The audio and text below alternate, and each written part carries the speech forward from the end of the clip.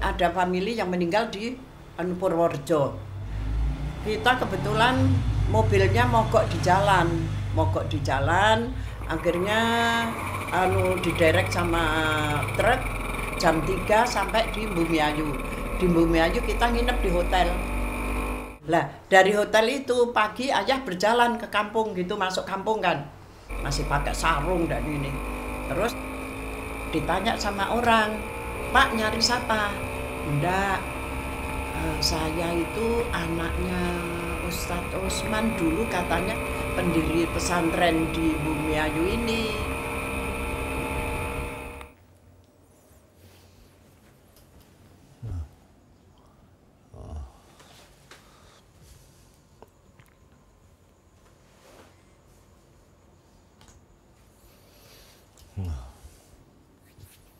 eh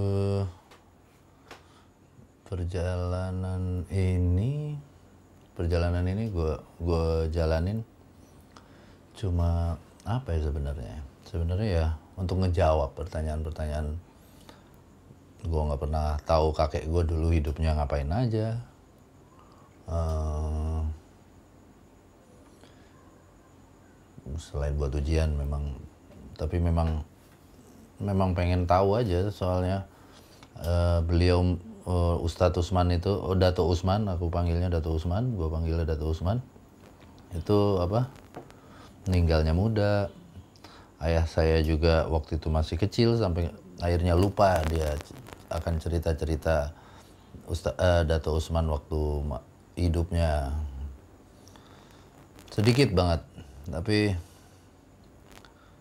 ya dari sedikit itu malah membuat gue pengen nelusuri sedikit juga apa yang ada apa masih bisa dikembangin berikut berikutnya supaya ya kakak-kakak gue tujuh bersaudara. Kakak-kakak gue juga bisa tahu gue bisa cerita ke kakak gue bisa cerita ke nyokap bisa cerita ke anak-anak gue ya. Hmm, itu sih awalnya tujuannya.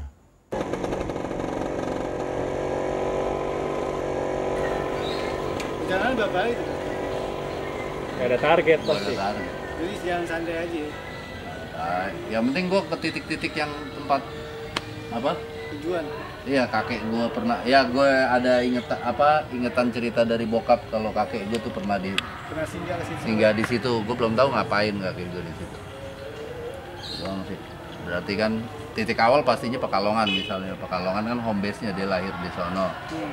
Terus di Bumi Ayu ada sejarah apa tuh Bumi Ayu tuh bokap gue pernah nemuin apa pesantren atau sekolah Islam gitu yang ternyata yang diriin kakek gue. Nah itu dia itu yang nggak itu. sengaja. Ah, sama- Berarti awalnya lu ke pesantren itu. mungkin gue Bumi Ayu dulu. Dari situ ya. Coba cari tahu ya.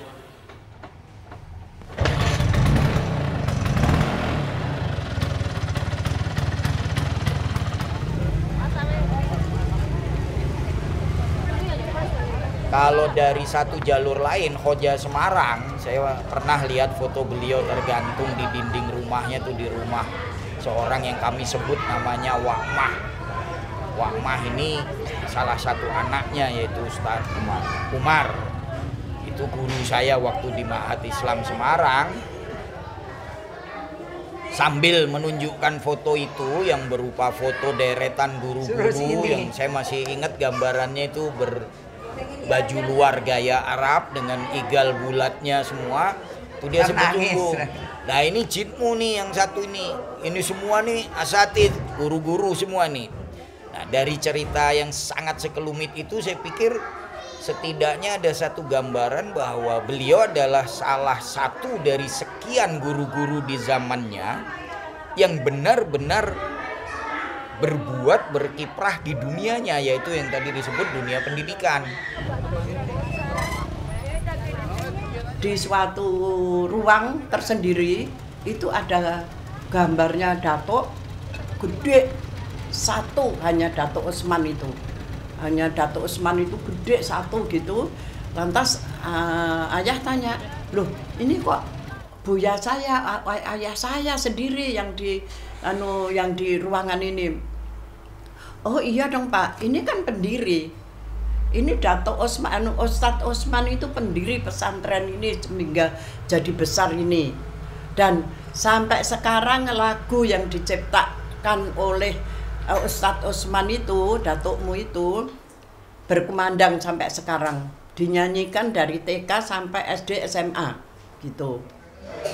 Makanya akhirnya kami ketahui belakangan bahwa di Bumi Ayu pun beliaunya mendirikan termasuk kalau saya mendengar dari saksi hidup langsung saat itu Kiai Nasuha tadi bahwa beliau yang mendirikan bahwa istilahnya gini malah dia pakai kalimat bahasa Jawa yang tegas sekali.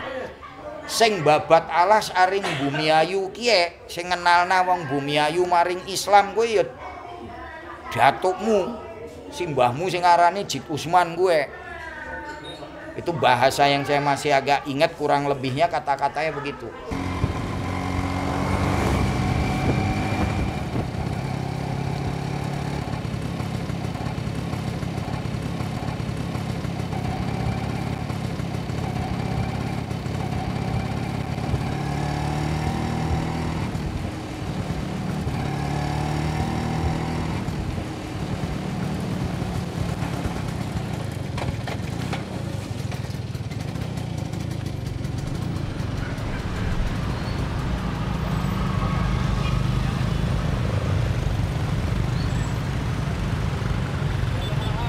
Sewu saya kedatangan tamu dari Jakarta. Ini cucunya Ustadz Usman. Mungkin di situ apa namanya itu pendiri-pendiri Taal itu kelihatannya Pak. Lah, ini ini Mas namanya Mas Dosi mau sedang membuat buku atau dokumenter. Lah mau minta informasi tentang anu sejarah-sejarahnya mbahnya itu Kiai Usman. Lah makanya saya tolong nanti saya supaya silaturahim kenjenengan di kantor Taal ya. Ya, dengan beberapa kru di sini nih ya. Nanti dulu Pak Haji ya. Eh, assalamualaikum. Ya, bisa tunggu di sana. Oh ada beliau di Ya, sana. ada kebetulan. beberapa orang di sana kantornya ya Sentaan. Hmm, hmm, hmm. Jadi tempatnya ini, Sewu nanti ke sini ke Masjid Agung ya. Masjid Agung ya bisa Ke dicari. utara lagi ada perapatan. Hutan- Ah, ya. Ada bakso jenggot nanti. Bakso jenggot terkenal sekali bakso Ah, jenggot. Nanti ke ah. timur sedikit. ke timur. Ada SMP Islam. Ya. Ya sekitar 50 meter lah ada SMP Islam depannya kantor Yayasan Taal. Oh. Nanti masuk itu ketemu Pak Haji Zainal. Uluna lil watan lil ula lil alam majaduna fi zaman saifuna wal kolam sayuna lil balad majduhu lir rijal quluna lil alam fi sabilil kamal Kuluna lil waton lil ula lil alam Kuluna lil waton ini bahasa Indonesia-nya diri aja sekali jiwa raga kami yeah. untuk tanah air yeah. untuk kemerdekaan dan panji negeri yeah. masa masa kejayaan kami, kami pasti akan tiba pena adalah senjata, senjata kami. Perjuangan kami untuk generasi akan datang. Kejayaan untuk di hari tua, ucapan kami adalah tindakan. Dalam menuju cita-cita sempurna, jiwa raga kami untuk tanah air. Ustadz Usman ini ya? Iya. Syukurlah, senang saya ngelihatnya. Yo coba bangga loh. Bangga. Sebagai berarti Mas Firdausi itu cucu kan? Cucu. Wah bangga. Dibandingkan dengan kekayaan apa pun juga bangga. Bangga, bangga banget. Pak Yahya, apa kira-kira pernah dengar cerita apa itu awal-awal dulu perjuangan para para penduduk? Jadi waktu itu kan kami, eh mereka di sini kan membutuhkan pendidik, tenaga. Saya kurang tahu persisnya ya, tapi kalau saya tebak-tebak, mungkin dia yang meletakkan dasar fondasi tentang pendidikan di sini. Indonesia, kalau saya lihat-lihat ya, itu kan tahun lama sudah lama, kan lama sekali. Dan itu kan nggak pindah-pindah anunya tempatnya. tempat- Fondasi seperti apa tuh? Maksudnya fondasi Ideologis. bangunan, ideologi. Bukan, ideologis dong, kalau masih Ya, run- ya. runtuh udah. Ah, ah, ah. Ideologis. Macam apa ideologi? Misalnya eh, eh, apa toleransi, Hmm. ket- keterbukaan, Ya. dan apa namanya pentingnya karakter- building ya kalau Iya, saya saya lihat sih.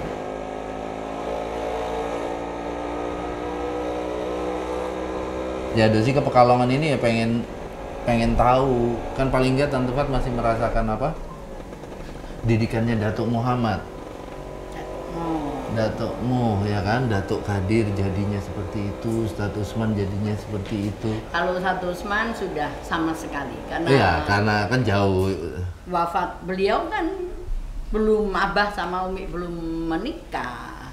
Ayahmu masih kecil. Heeh, iya masih kecil SD SR mungkin. Um- umur 6 bulan jalan Oh, apalagi enam bulan. Iya, enam oh, bulan. rak wong sudah punya celengan kok, celengannya hilang. celengan Dikasih orang, kan Ah. kalau orang tuanya meninggal, kan anaknya pasti dikasih. Oh. Enggak enam bulan. oh udah meninggalnya waktu SD ya Heeh. Nah, kita dari anak keempat. Hmm, Anak keempat. Nah, ini. ini ya Ini. Saidah Jadi perempuan Datuk ya itu mantu. mantu ya Datuk Datuk Mo Mo itu mantu. Mm-mm. Ya.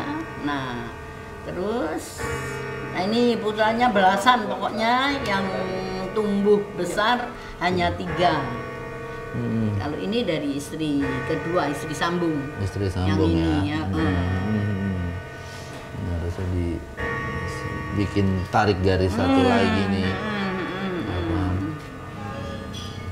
Syria ya dari Syria Nah, ini pun kan istrinya dua. Hmm. Naimah larinya ke sini. Hmm. ya.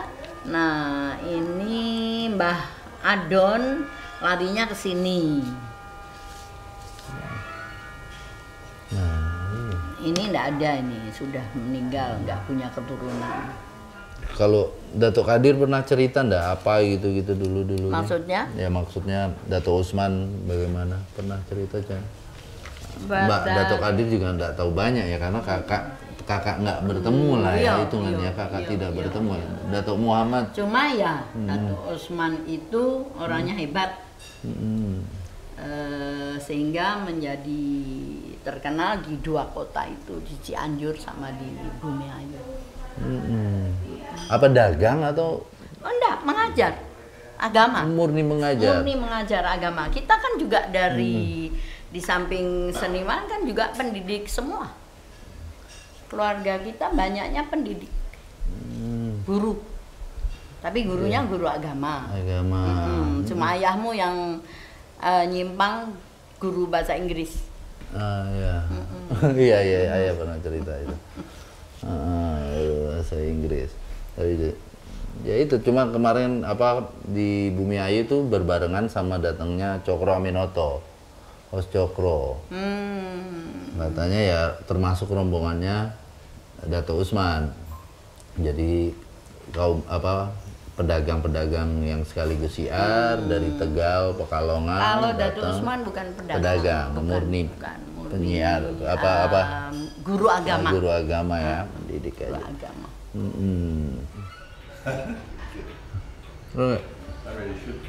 Ah, ah.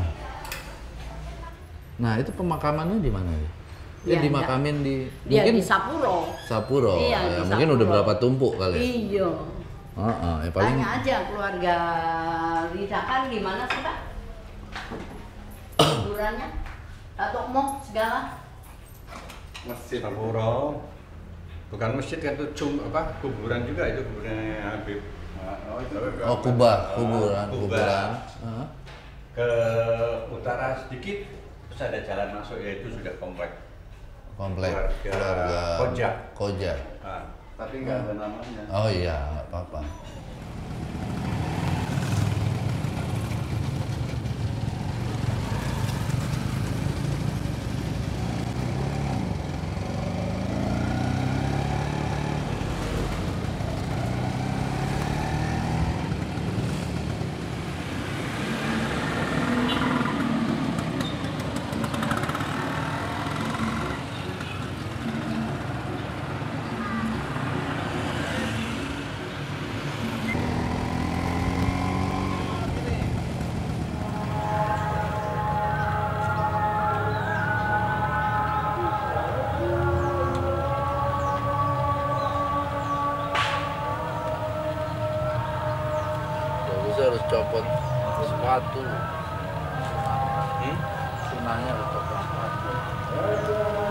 Apa?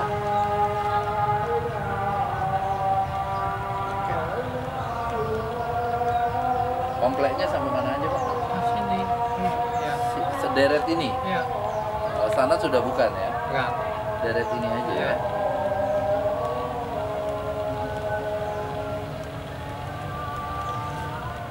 Perjalanan yang gue lewatin ini akhirnya juga apa ya? Gue jadi pemikiran akhirnya berikut. Apa gue juga bisa ninggalin sesuatu aja nggak harus sebesar Dato Usman nggak harus ini apa yang bisa berguna buat orang. Tuh, itu dia.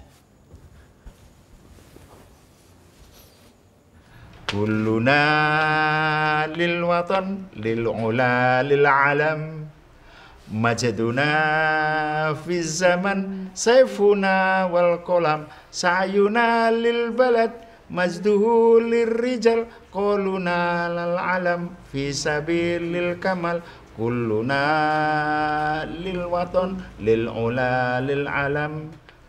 Majaduna fi zaman saifuna wal kolam sayuna lil balad Majduhu lirrijal Quluna lal alam Fi sabilil kamal Kulluna lil waton Lil ula lil alam Kulluna lil waton.